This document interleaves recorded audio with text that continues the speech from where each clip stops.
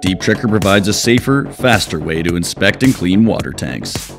Deep Trekker ROVs offer a diverless entry method for confined spaces as narrow as 14 inches.